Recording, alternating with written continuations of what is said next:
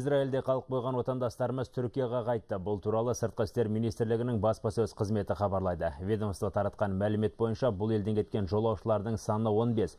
Осыған дейін министрлік 26 қазақстандықтың Израильдің Эль-Аль әуе компаниясымен Анкараға жеткізілгенін хабарлаған болатын.